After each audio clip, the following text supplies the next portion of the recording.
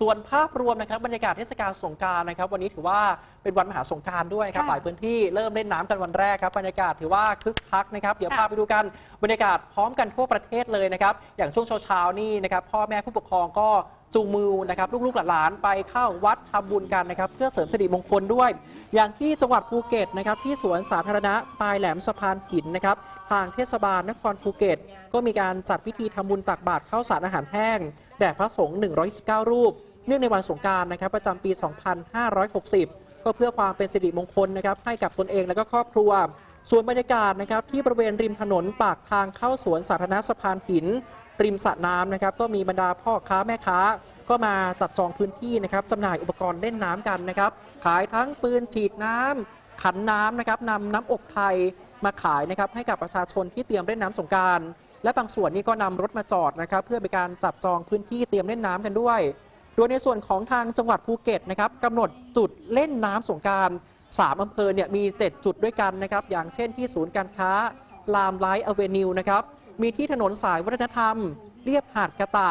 มีที่ซอยบางลานะครับ รวมถึงสวนสาธารณะโรมาด้วย ก็ห้ามประชาชนนะครับนักท่องเที่ยวเล่นน้ำสงกรานต์กลางถนน นอกเขตพื้นที่ที่กำหนด และที่สำคัญนี่คือห้ามปะแป้ง ห้ามตั้งโต๊ะดื่มสุราข้างถนน ห้ามตั้งถังน้ำสาดน้ำกันอย่างเด็ดขาดด้วยนะครับ คือถ้าคุณฝ่าฝืนนี่เจ้าที่เขาบอกว่า ร้อมที่จะจับกลุ่มดำเนินคดีทันทีครับ ค่ะก็ต้องกวดขันกันนะคะ ข้ามมาที่จังหวัดนราธิวาสค่ะ สวนกรมหลวงนราธิวาสราชนครินทร์ที่ตำบลบางนาค มีนายธนาวิทย์ชัยยานุพงศ์นายกเทศมนตรีของเมืองนราธิวาสเป็นประธานในการปล่อยขบวนแห่สงกรานต์และรถประดิษฐานพระพุทธทักษิณมิ่งมงคลจำลอง รวมถึงรถประดิษฐานพระครูธรรมพานโสพลเพื่อเคลื่อนไปตามถนนสายหลักในเขตเทศบาลเมืองนราธิวาสค่ะ นี่ก็จัดขึ้นเพื่อให้ประชาชนในพื้นที่ ได้มีโอกาสส่งน้ำพระพุทธรูปคู่บ้านคู่เมืองของชาวจังหวัดนราธิวาสเป็นสิริมงคลในการเริ่มต้นชีวิตของปีใหม่ไทยนี้นะคะซึ่งบรรดาพุทธศาสนิกชนที่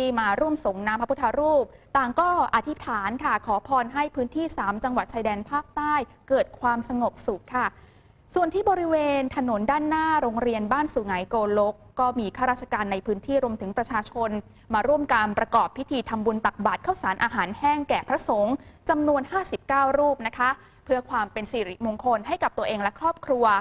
และถ้ามาเปรียบเทียบกับช่วงปีที่ผ่านมาค่ะคุณผู้ชมจะเห็นได้นะคะ ว่าปีนี้ประชาชนมาทำบุญตักบาตรกันค่อนข้างบางตาค่ะ ในบริเวณจุดนี้ เพราะว่าส่วนใหญ่แล้วก็จะพากันไปท่องเที่ยวและไปเยี่ยมญาติในพื้นที่อื่นนะคะ เพราะว่าปีนี้หยุดราชการต่อเนื่องกันหลายวันเลยค่ะครับจากที่นราธิวาสนะครับพาขึ้นไปดูกันที่จังหวัดพิษณุโลกกันบ้างที่วัดพระศรีรัตนมหาธาตุวรมหาวิหาร หรือว่าวัดใหญ่นะครับ ทางผู้ราชการจังหวัดคุณสุประชัยเอี่ยมสุวรรณ ก็นำข้าราชการนะครับพร้อมด้วยประชาชนร่วมการทำบุญตักบาตรข้าวสารอาหารแห้ง ถวายแด่สามเณร100 รูป เนื่องในวันขึ้นปีใหม่ไทยนะครับเป็นเทศกาลสงการ มีการปล่อยพันปลานะครับกว่า 5,000 ตัว